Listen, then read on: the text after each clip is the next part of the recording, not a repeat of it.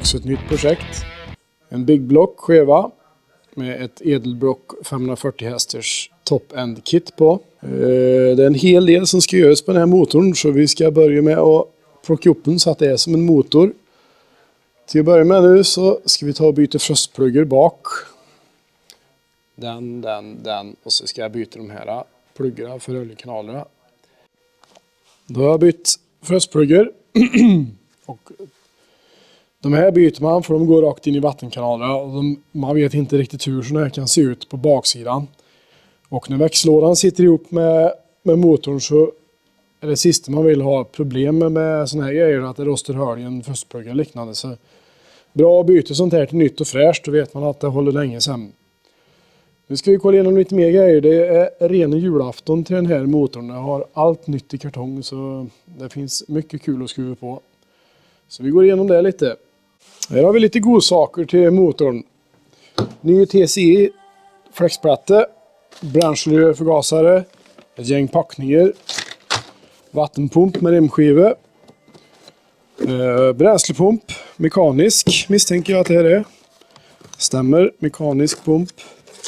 Lite oljefilter, termostathus, eh, grejer för eh, headers till avgasrör. NGK-stift gillar ju jag. mer flexplatteskruv.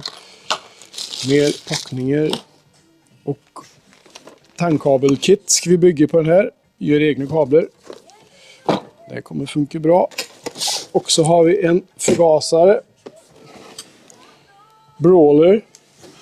Aldrig sett, det ska bli intressant att se. Och en klassisk MSD-fördelare.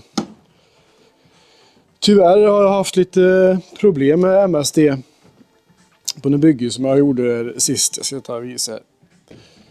Eh, det är rotorn och själva tändplattan inne inte stämde så att det sköt mellan två cylindrar hela tiden i MSD-fördelaren. Skickade tillbaka fördelaren. Fick okej okay från återförsäljaren, inget fel på fördelaren.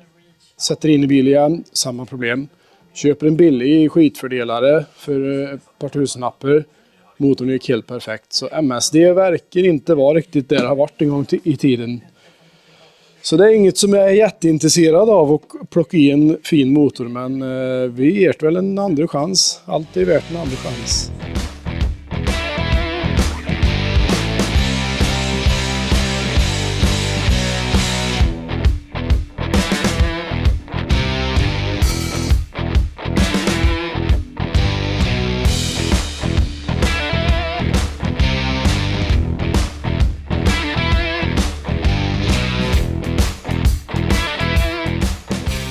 Så, då har jag kommit till ett läge där motorn ska upp i motorbromsbänksvaggan. Och den ser ut som följer. Det här är ju min version 1 av motorvaggan och jag är hälften nöjd menar jag. Det är ju ett system som bygger på att jag kan fånga vilken motor som helst, hur som helst genom att bara flytta de här och trixa och så. Men han är inte så stabil som jag vill att han ska vara och jag har, när jag börjar hänga en motor i här, då har jag egentligen ingenting fast punkt att sikta efter. Så jag har gjort en litet sikte här. Det här är centrum på vevaxeln. Hamnar jag här så är jag i bra höjd för motorbänken sen. Och eh, det här har jag krånglat nog med nu och trixa med när jag håller på med motorer och sätter upp och jag har länge velat gjort en motorplåt som sitter fast här en motorplåt bak som eh, sitter i vaggan på det viset så att jag har fasta punkter som jag dockar motorn i så bara fixar jag så att han står på de främre tassarna här så, så skulle allting gå mycket smidigare. Så jag har ju suttit nu och ritat på det här ett litet tag och jag tänkte jag skulle visa er nu vad jag har kommit fram till. Så här har jag ritat en bock helt enkelt. Inte några jättekonstiga grejer men en motorplåt som har eh, skeva Volvo och Volvos eh, vinklade rörblock, alltså både 15 grader och rakställd. Det här ska vi skära ut på plasmabordet just nu.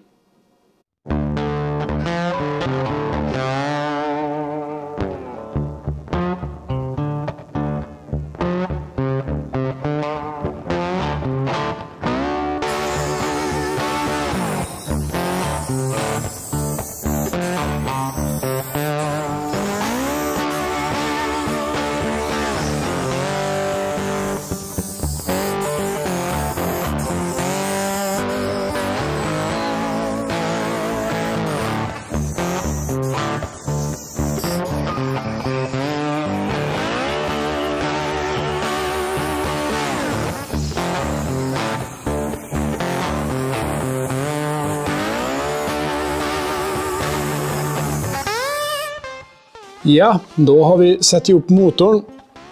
Vi har kommit ganska långt på projektet här. Motorn sitter i vaggan. Jag har gjort i ordning mina plåtar här. Jag ska visa er alldeles strax. Eh, maskinen har kommit till ett läge där jag är, eh, ja, är väl 80% klar med motorn i alla fall. Och, eh, det, det, är alltid lite små grejer som det är när man sätter ihop en sån här maskin. Det fattas pluggar här och där och det är något fäste som fattas. Det är slangar och plugg till vakuum som är borta. Det är väl... Eh, tandkablar som jag skulle bygga till den här var väl... Det var raka tandkablar och på den här sidan så vill de gärna gå i headersen tandkablar och jag ska försöka spara kunden den huvudvärken med att det kommer att äta tandkablar så jag ska köpa ett set med vinklade kablar och bygga på den här istället. Jag tänkte att jag skulle visa lite hur det blev med motorvagga här nu till bromsbänken. Jag var, var ganska nöjd över det faktiskt. Så blev det. Det har varit faktiskt väldigt bra. Jag ser att jag kanske blir tvungen att använda en sorts form av vinkelslip för det här framöver. För att jag, jag blandar i en Volvo-cirkel i den här kåpan ifall jag kan använda, eller kåpan i den här eh, fräste eller utskärde delen. Ifall jag kan köra en Volvo också på samma här, men eh, det, det har jag förstått att det kommer jag få ha en ny plåt till egentligen. Och det är ju egentligen bara att byta de här så är det klart. Så jag kommer kanske behöva ta upp det här i framtiden, men just på den här körningen så tror jag jag klarar mig faktiskt genom att bara sätta dynoplattan emellan här nu. Givetvis. Så headers, det är ju alltid någonting som krånglar och det kommer att krångla framöver också. Det, men på den här nu så räckte det med att jag flyttade ut motorn lite från plåten så gick det fritt med headers på den sidan. Så nästa gång ni ser den här så sitter han nog i bromsbänken eller på väg till bromsbänken. Då blir det action. Ja, då är motorn upplockad och har hittat hit till bromsrummet. Så eh, motorn är väl sån här som på ventilkåpor klart för att startas upp.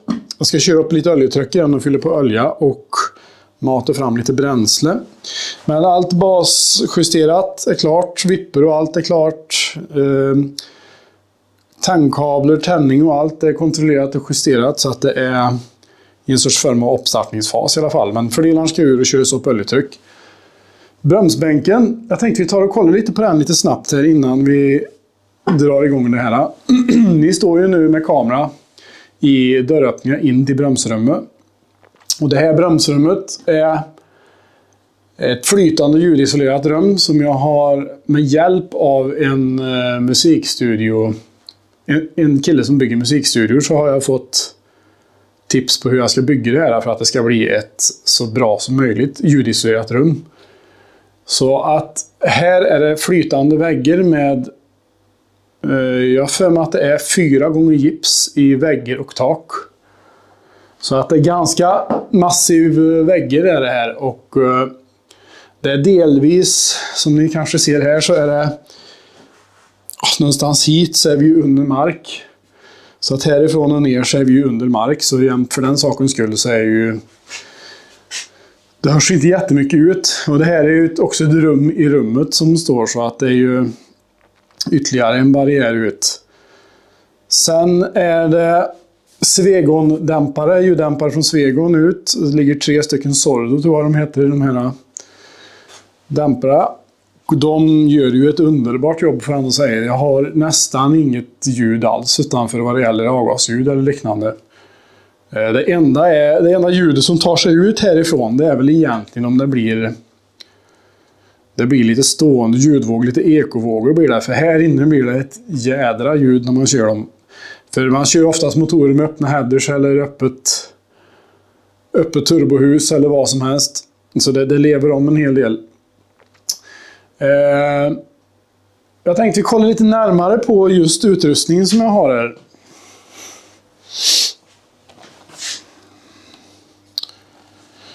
Så. Då har vi luft in i bromsrummet. Jag vet inte, syns det nu? Jag kanske inte gör det jätteväl. Vi arrangerar om. Här kommer det luft in. Och det är ju inte mycket till yta, ser det ut som. Men om man räknar på vad jag har i, i ljuddämparkapacitet i arean på avgaskanalen ut, om man säger, så är det mer area in än det är ut. För att det inte ska bygga en undertryck. Eh, avgasfläkten är ju något överdimensionerad får jag ändå säga. Den är ju här den. Det är ju en eh, 1200 mm. Eller om det var 1100. Ja, han är strax över 1000 mm i alla fall, den här fläkten som sitter där. Den är på 7,5 kW, så där har vi ju faktiskt en hel del med luft som den orkar trycka. Så det är ju storm här inne när man kör eh, motorer. Och ni ser ju hur skitig fläkten är och det är ju för att jag släpper ju med avgaser och allting i ventilation ut. Det är ett sätt för mig att hantera det. Det finns ju bänkar som har separata avgasfläkter och avgasutsug, men när det börjar på att bli lite effekt så är det svårt att få med... Det är svårt att få två system som klarar av detta tycker jag. I alla fall med mina beräkningar och med min ström jag har här i att tillgå. För det här är nämligen generation nummer två på kontrollbox för att kunna koppla in allting till motorn. Jag har, jag har haft en... Eh, om man tänker sig bakom motorn, snett bakom fördelaren på den här. Eh, hängde det en grej i den armen som är... Jag ska visa det. Det har hängt en arm ut här med ett skåp på. Och allting som sitter i bromsbänken lever ju om som bara den. Så att det, det skakade och det var grejer överallt tyckte jag när jag höll på med detta. Så det här är generation 2. Fastmonterad i tak. Så drar man alla kablar ner till motorn. Hur fungerar då bromsbänken? Hur, hur kan man bromsa med vatten? Eh, den här axeln driver en, en propeller här inne. En propeller som har en väldigt dålig utformning av propellerbladen egentligen. Så allt vatten du får in i den här så alltså gör han egentligen bara värmeenergi och motstånd av det. Och eh, det sitter motsvarande eh, propeller på, på höljorna på sidan om så att det är som två plattor som går emot varandra och med vatten emellan. Och när vattnet är emellan där så, så skapar det stor friktion vilket gör att man med vattennivån kan välja hur mycket friktion man vill ha i den här bromsen. Att ju mer vatten man fyller i den här, ju trögare går han och när han går trögare så vill själva ytterhållet snurra med motorns rotation. Vilket gör att det trycker på lastcellen som är på sidan här. Då, då, får man, då får man vridmoment och man får varvtal. Då har man hästkrafterna i uträknad form i datorn. För övrigt, här inne har vi Eh, manöverpanelen, ja. Här är lite knappar som är ja, lite övervintrade egentligen från första setupen. För det, det är andra generationens bänkprogramvara som sitter i bänken just nu. Så mycket kommer ni se kommer finnas på skärmen när man startar och stoppar olika funktioner med, med eh, programvaran. Eh, gasreglaget är full gas, ingen gas alls. Och här sitter man och kör. Full koll, inga avgaser. Plåten som jag gjorde här vart en succé. Eh, mycket bra. Om man tittar här på det här eh, kastskyddet som är här så är kardan ligger exakt i mitten på kastskyddet. I rätt höjd och i mitten kunde inte ha blivit bättre så det var en bra åtgärd att göra det här eh, svepet bak som man skruvar motorer i. Det kommer underlätta en hel del för mig när jag ska bromsa nästa motor här. Vi ser, här var tomt ut börmaskin.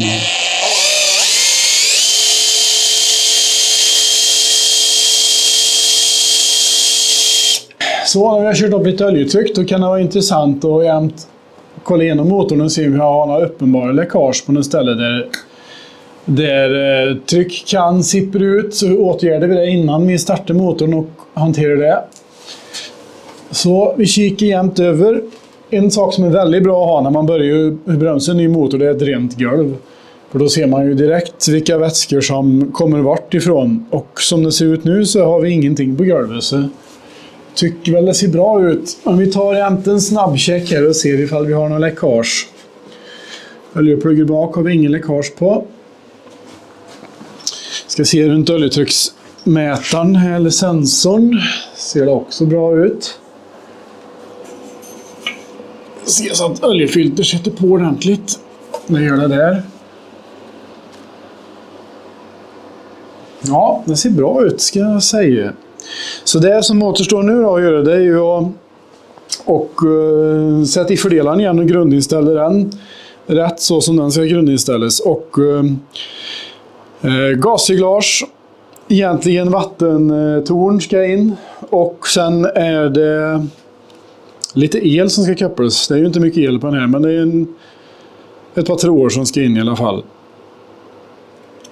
Drevet ska ha lite break-in lube.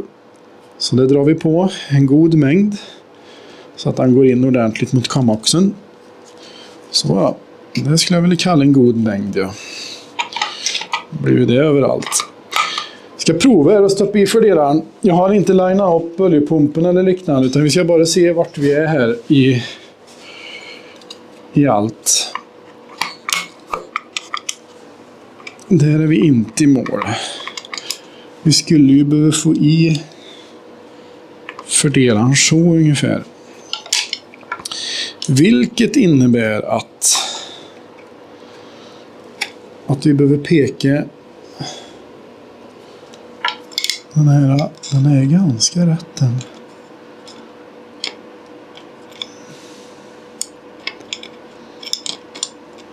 Men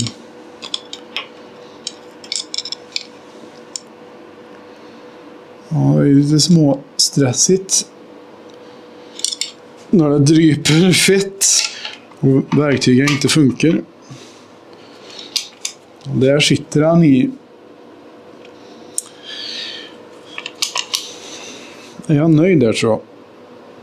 Han snurrar åt det hållet. För att få förtändning så behöver vi dit. Ja, vi kan prova där. Där tar vi den. Då är vi på väg att starta upp det här klockverket. Det kommer bli en härlig upplevelse eftersom vi har vad har vi, 14 minus eller någonting ute och stå här i detta rummet då, i 14 minus är, det är underbart det. Eh, man, innan man startar en sån här så behöver man ha koll på vart alla brandsläckare är. Och så att det är lite tryck i brandsläckaren. Nu är vi den i ordning. Och då vill man ju försöka få tag på kolsyran det första. Om det blir någonting. För man vill ju inte släcka ett skitproblem med pulver. För då har man ju att göra sen. Eh, det första som händer nu när vi startar den här är att eh, kommer behöva pumpa upp lite soppa i förgasaren först. För den är helt tom. Allt är nytt. Oljetryck har vi redan kört upp. Eh, sen när det är i ordning så så vill jag gärna se att jag har oljetryck. Så jag kommer nog springa in ganska snabbt och se så att jag har oljetryck. Och allting funkar. Efter det så kommer vi nog att försöka få till... Eh,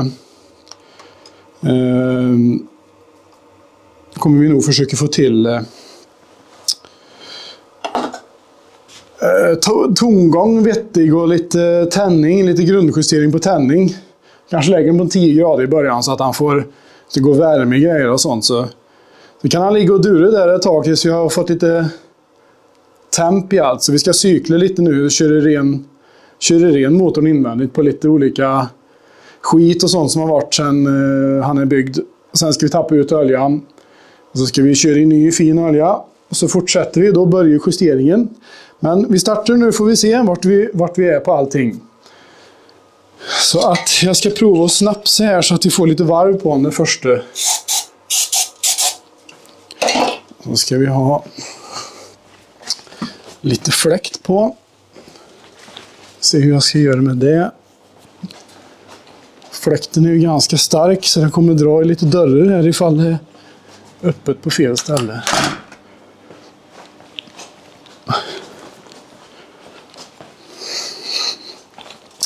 Får be om ursäkt om inte jag har mitt största fokus på filmning just nu men motorns liv är lite viktigare för tillfället.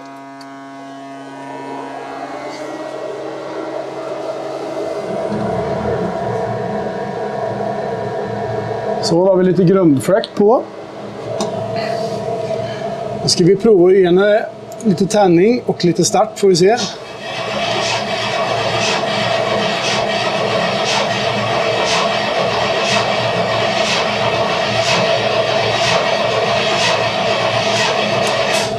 Inte någonting.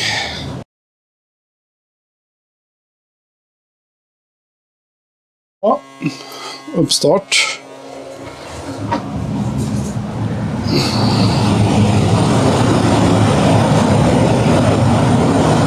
ser.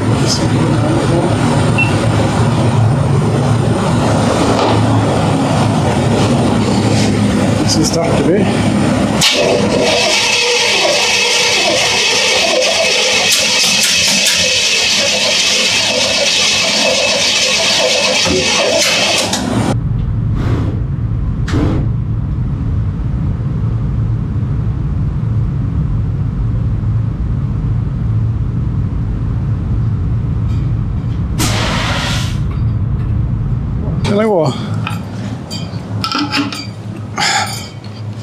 Bränsle och skit överallt.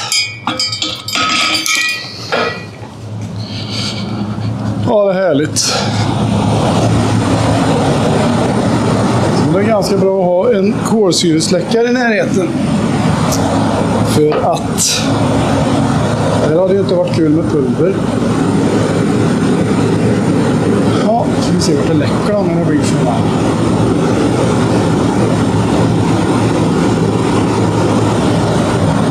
Vi stänga av igen.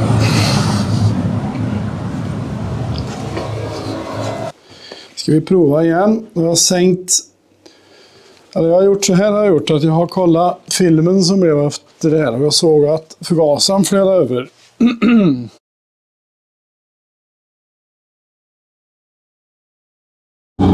Ja, det går an maskinen. Och eh, ska få kämpa med att få lite värme i maskinen till att börja med innan vi gör någonting. Eh, där ni ser det ryker lite från headersa. Det är faktiskt färgen på headersen som är som är vårt problem. Jag trodde först att ventilkablarna läckte men det såg väldigt bra ut allting där. Det som oroar mig lite så är det att det läcker lite på golvet där tillbaka i packboxen på veva. Kommer göra att vi kanske måste plocka, plocka isär det där och se vad som har hänt. Men jag tänkte vi kör bort all sån här rök från grenrör och allt och um, får lite värme i motorn. Så övervakar vi lite oljetryck och liknande. Så får vi se vad vi har att göra med. Jag ser att det är nya eh, NGK-stift i den här av. De brukar inte gilla att man småstartar dem så när de är nya, utan de vill gärna lägga igen om det blir ehm, för mycket trubbel i starten. Så han får väl stå här och gå lite nu får vi se, så vi får upp lite vattentemp.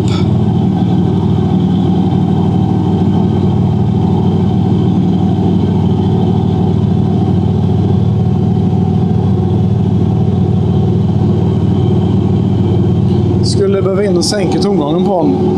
Det är ju alltid roligt.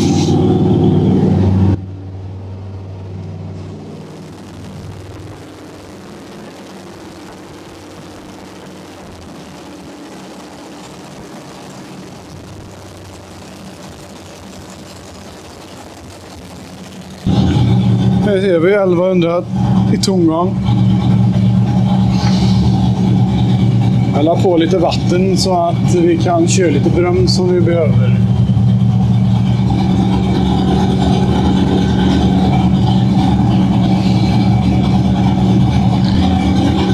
Kan ni även lägga märke till det vad mörkt det har blivit i bromsrummen nu. Lysröra gäller ju inte alls när det drar in massa kall, kall temp.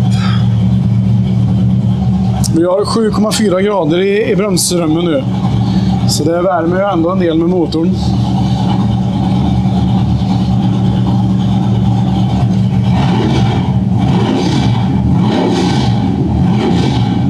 Ja, det ser bra ut. Däremot så ser jag ju att vattentempmätaren jag har i, i insug läcker vatten. Men det, det kan vi väl klara oss med just nu. Jag vill se så att allt funkar här nu så att det bygger temperatur i allt och oljetryck håller kvar. Det läcker ganska mycket bak i packboxen på honom, Så det, det kommer bli en varmkörning idag och så kommer det bli att det behöver grejas med det här sen. Så får vi se över mer grejer också. Men han eh, känns ganska rapp. Det här kommer nog bli kul när det blir så pass i ordning så att vi kan börja köra den.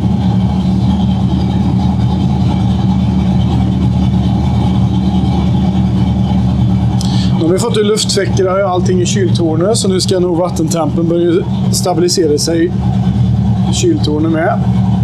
sitter termostaten här, så det tar ju ett tag innan man får ur luft ur systemet. Men det brukar aldrig vara några problem. Eh, jag vet inte hur väl ni ser, det det börjar bli ganska mörkt där inne men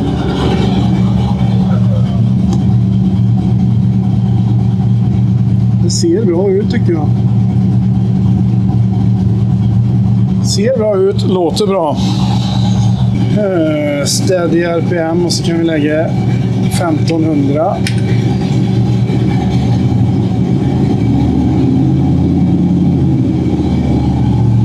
Höll håller bänken motorn på 1500 varv.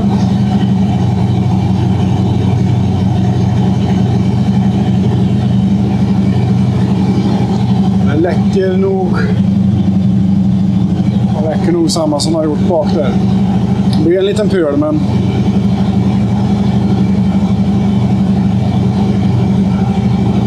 Vi ska bygga lite, lite värme i motorn med det här tänkte jag. Ja, fan. Här har vi grejer. Här har vi en liten pöl med olja. Ska vi se vart det kommer ifrån. Jag ser även att det ligger lite på eh, brunnsbänksvagnen. Där är en, pö, en liten pöl. Eh, här har vi också någonting ser jag nu som är, är vatten. Ska se om vi får på lite ljus här. Jag hade en vattengivare som läckte så jag misstänker att det är den som har spilt ur sig. För det ser väldigt bra ut, blocket här.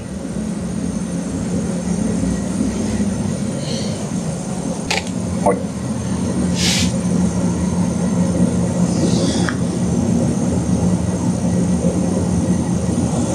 Vi ser om vi ser någonting här.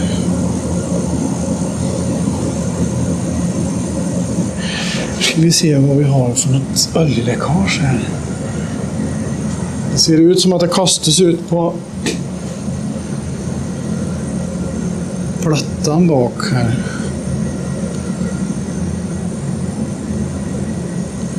Det syns nästan inte. Det är helt otroligt.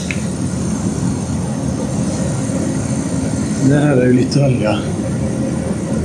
Vi får riva bak här får vi se vad det kan vara. Då har vi försökt gjort en åtgärd på läckaget bak på motorn. Eh, det ser ut som att det har läckt någonstans runt vevparti bak här. Det är lite olja kvar på tröget. På oljetråget. Ehm, jag har haft min far som har varit här och gjort i ordning det här. Jag har haft en liten sjuk kille så att jag fick hyra in min far så han gjorde i ordning. Så han har limmat om oljetråget. Kunde inte se några fel på, på tätningen bak.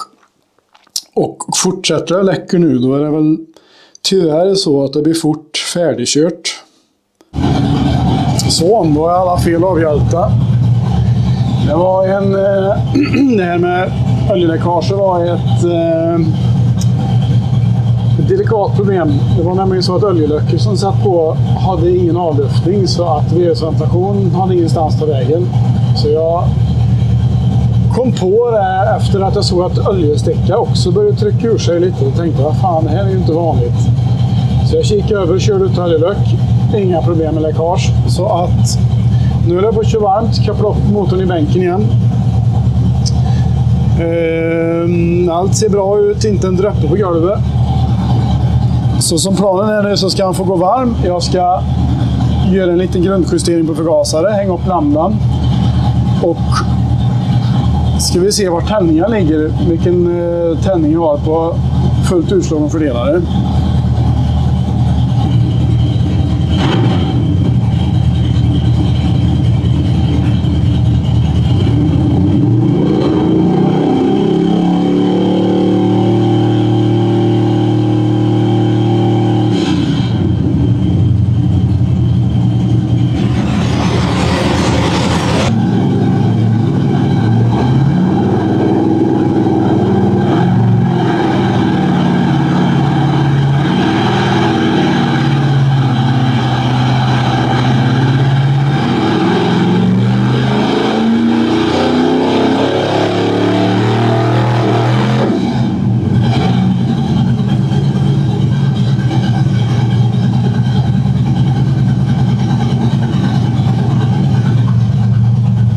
Ser bra ut.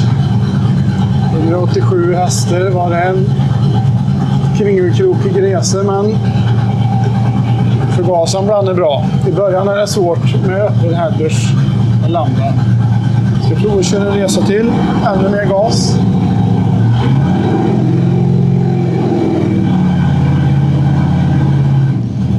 Kanske måste dra på eh,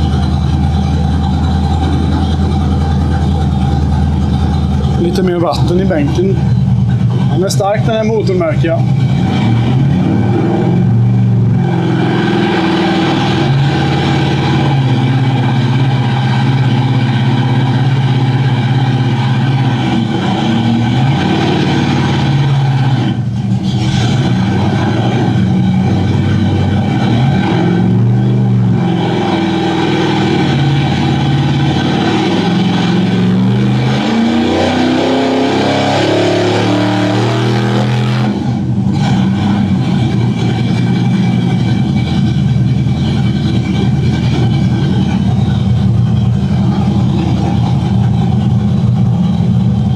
Ja. Kände lite på honom, fick ju på lite mer gas. Jag får nog gå och ställa på bänken lite för han är lite stark i början. Den här. Jag ser det svämmer över eh, i vattenbölan nu. nu. Och 312 hästar, 483 Newtonmeter. Ny dag. Jag har grejat lite mer med motorn nu. Eh, vi körde den igår, han gav 320 hästar ungefär. Och eh, jag har gått igenom ventiljustering igen på en med hydraulisk rulllyftare Och eh, ja, det, det ändrar sig lite, gör det alltid. Så att jag har snyggat till ett par stycken som jag tyckte såg lite sådär ut. Sen så har jag eh, bytt grenrörspackning på en sida lite sådana småtricks. Idag hoppas vi på att vi kan eh, fortsätta köra och då blir det lite mer tändning och se hur förgasaren sköter sig. Han skötte sig rätt bra igår tyckte jag. Men eh, vi varmkör nu får vi se hur, hur han tar sig från kallstart. Så på med fläkt.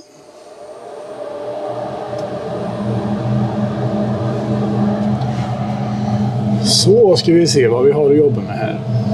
På med lambda är bra att ha. Lite grundgas.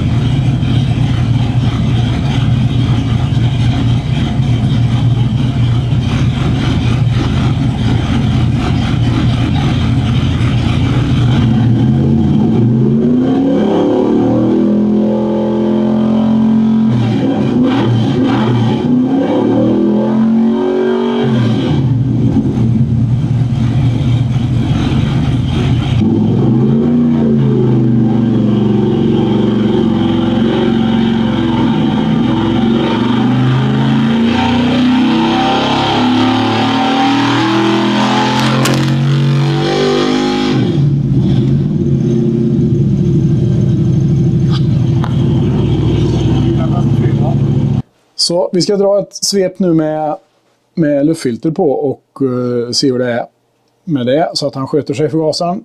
Och där väntar vi på kunden för han dyker in här.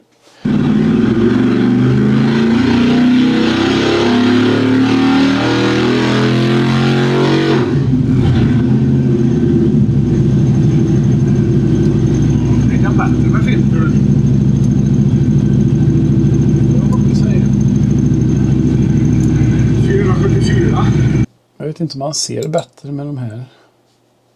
Man lägger bort och lägger på. Då ser man i alla fall att med luftfilter så gör han en helt ny grej. Han orkar fortfarande hålla ut och ge motorn luft. Och fungerar väldigt bra med luftfilter. Så det, det reser motorn hela 20 hästar faktiskt med luftfilter och gör att han varvar mycket längre ut. Som det ser ut just nu i alla fall så är det 5600 varv och har han som maxeffekt här just nu. 5662 varv.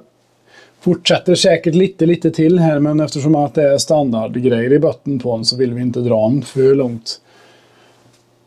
Och tittar man på vridkurvan, om vi tar bort den här gamla delen här, man tittar på vridkurvan så är ju den Ja, den är ju riktigt fin. Vart du än hamnar på den här kurvan så finns det effekt i motorn. Det finns hur mycket vrid som helst. Totalvridet är någonstans här omkring på 679 Newton. Men du har ju liksom man har ju liksom i änden här har man ju 634 Newton. Och i den här änden så har man också 635 Newton har vi här. Så det är ett väldigt brett spann på den här motorn med mycket vrid. Den här lilla knorren här i början är att jag fick vara lite schysst mot bänken när jag släppte iväg den så jag fick ge på gas. Full gas här någonstans. Så, så 474 hästar på ett 540 hästers kit är väldigt bra. Det kan hända att vi finner mer effekt på det genom att byta headers och sådana grejer men eh, både jag och kunden är nöjda här så att det här vi får också tänka på att det är blyfri 95 som man går på, så det finns lite mer tändning kvar att använda om man vill.